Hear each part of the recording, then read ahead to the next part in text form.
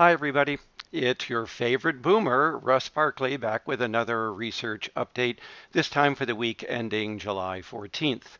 Uh, and along with me today, making another cameo appearance, is the Moose, Moose Barkley. Say hi, Moose. There's my Moosey. Okay. He just wanted some more airtime because his contract is up for renewal. There you go, bud. Hop on down. We'll talk about your contract later. Don't forget what happened at ESPN a couple of weeks ago. Keep that in mind. So, all right, uh, we have a veritable dog's breakfast of research to talk about this week. Uh, you can find all of the research that was published in the thumbnail sketch that accompanies this video.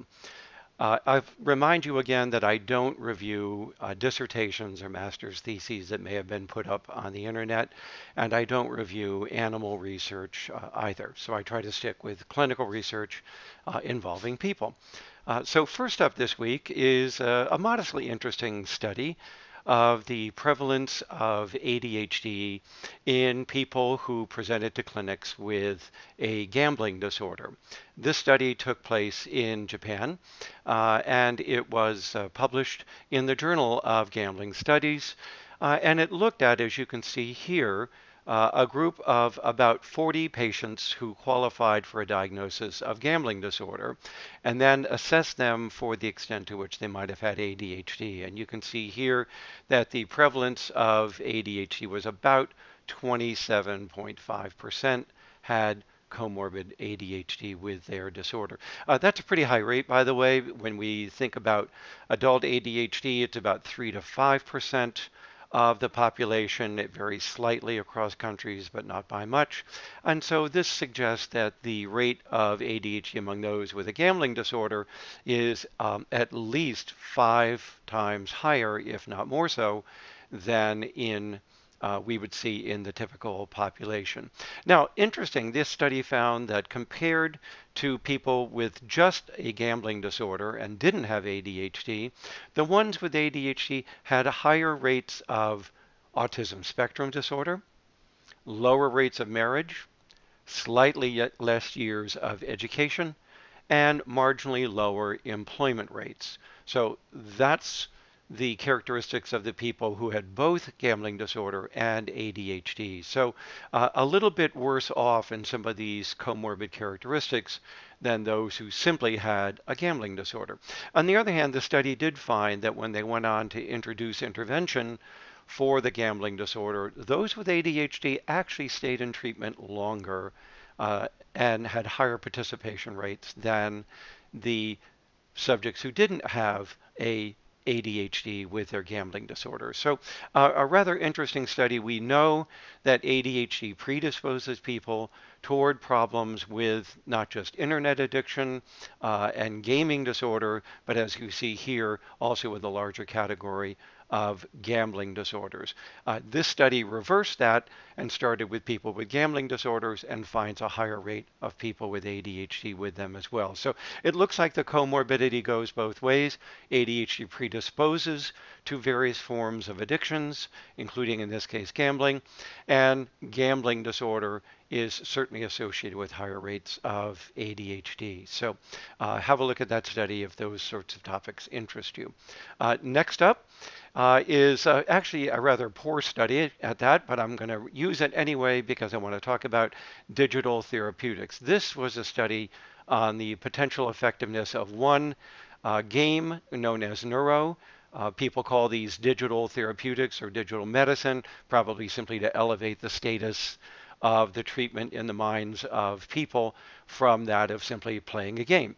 Uh, so now we're calling it digital medicine. But uh, in that case, this study looked at uh, a, an app that you can play uh, on a smart device uh, called Neuro, and it involves two games. Uh, one is to help you with impulse control, uh, the other is to help with working memory. Uh, and then, of course, it adjusts the difficulty level of the game based upon the individual's performance of the game. A, a lot of other games do this as well. Uh, you can also go online to various websites that have cognitive rehabilitation games that you can play as well, such as Lumosity, for instance. But so what we want to know uh, here is what was this study about? This study compared 30 Korean children uh, before and after they practiced on the game for several weeks.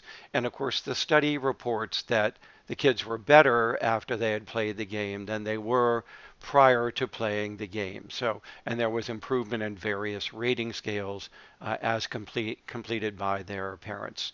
Uh, so uh, I want to talk about this study for a couple of reasons. One is that it's not a very good study. Uh, it's only what we call a pre to post comparison, and you always get effects when you do that. So when you take people before treatment and then you assess them after treatment, it always looks like the treatment did something, or nearly always. Uh, and some of that is a practice effect on the measures, on the rating scales. Some of it simply has to do with exposure to uh, the attention of professionals uh, and getting the kind of services that you think you need.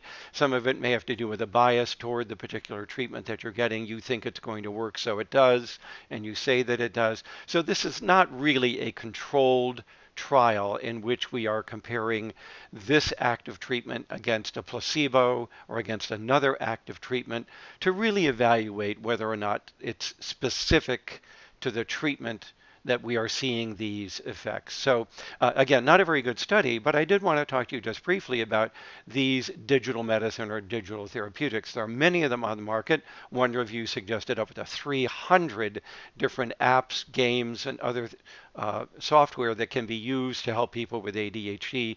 Very, very little research on them. What little research has been done, uh, for instance, was done on devices like CogMed, uh, in which the individual practices working memory and other games to see if it improves ADHD. And what we find is that people get better at playing the game. They also get better on tests that we use to evaluate them that are very, very similar to the game. We call that near transfer. But when we look at how these people are doing in the natural environment, home, school, work, social functioning, we don't see far transfer. We don't see improvements in their behavior in those environments as a result of participating or, or playing these digital therapeutic games or, or other software apps. So at this point, uh, there's a lot of hope, a lot of hype, a lot of promise with digital therapeutics, but very little controlled research, quality research that demonstrates anything more than simply you get better at the game and you get better at tests that are similar to the game, and that's about it. So a lot more research needs to be done on these apps and devices before we can recommend them for clinical practice. So um, that's one study on digital therapeutics. And again, as I said, not a very good one. Uh, in the next article that I want to talk about, this article was published in the European Child and Adolescent Psychiatry Journal, and it's a comparison of children who underwent an elimination diet compared to children with ADHD who had a healthy diet compared to treatment as usual, clinical care as usual. Um, and uh, it's a very interesting study done over in Holland, uh, and it involved a relatively large sample of children with ADHD who were randomly assigned either to get the elimination diet or to simply get advice about healthy nutrition or were simply cared for as usual following the guidelines in the Netherlands for the treatment of ADHD, which usually involves things like medication management for many, also recommending behavioral parent training, consultation to schools, uh, and uh, education about ADHD to the family, counseling about ADHD. So that's care as usual. So, what did this study find? Well, in comparing the elimination diet, which removed a variety of substances from the children's diet thought to produce allergies or sensitivities in those children, such as colorings, flavorings, of preservatives, sugar, gluten, dairy, uh, and so on. It's been proposed that these things lead to ADHD symptoms or worsen ADHD symptoms in kids who already have it, and therefore removing these offending substances from the diet was supposed to be beneficial to the children. And there have been a few studies uh, that have suggested that that was the case. Uh, not very good studies, in my opinion, but that's beside the point here. The alternative was to be assigned to a healthy diet, which was simply recommending uh, a good nutrition program for families for their children. So, uh, more vegetables, less sugar, less soft drinks, less white bread, more whole grains, the kinds of things that you might think are sensible in advising people on a healthy diet. And then finally, there were the children who had the clinical care as usual. So, what did the study find? As you can see here, fewer children in the elimination diet did well compared to those who had the healthy diet. So about 35% of the kids in the elimination diet were found to um, respond to the diet compared to 51% who had the healthy diet, also showing a partial or full response uh, in improving their symptoms of ADHD. Uh, despite the fact that there was good adherence in both diets, to adhering to the diet as judged by the clinicians in the study, uh, the elimination diet was not as effective as just a healthy diet. And then when you compare both of these diets to the clinical care as usual group, it's called CAU here, we find that the CAU group did just as well as the healthy diet group. Uh, and that is that children who got care as usual. In some cases, medication, about 74% of them received medication, uh, along with recommendations for parent training, school management, uh, counseling about the disorder, and so on. Those kids did just as well as the kids in the diet. There were no differences, and they did better than the kids in the elimination diet. So, uh, this is a, a study that shows that these elimination diets were not effective in this particular instance. Uh, therefore, these offending substances believed to lead to allergic reactions and sensitivities to uh, things in the diet of the individual are not particularly effective at helping children uh, and probably are not contributing to their ADHD symptoms. So, a, a, pretty good study here done by a large research team over in the Netherlands. Uh, the last article I want to talk about is a analysis of research studies on the value of physical activity uh, in improving attention in school age children with ADHD. It's a meta analysis. It summarizes a review and analysis of 10 studies that met the criteria to undergo the meta analysis. And of course, as we already know from these individual studies, the meta analysis found that uh, in increasing physical activity for children with ADHD does help to improve their attention problems. Not surprising, I only mention it here because it is a review of all of the research, not just individual research studies. Uh, this is why we are now recommending for children with ADHD and adults with ADHD that they increase their rates of physical activity in order to help them cope better and improve their symptoms. Now, this is not a permanent cure. Uh, it is simply a way of, on a day to day basis, helping to manage and control your symptoms a little better. Uh, there's no permanency in improving these symptoms. So, in other words, if you stop exercising, what's probably going to happen is your symptoms are going to go back to what they were before you were uh, you underwent the increase in exercise. So, but, but again, just one more review showing that physical activity may be good for helping people with ADHD in improving their attention. Uh, one last note I want to make, it wasn't a research study, it was actually uh, a book that is about to come out.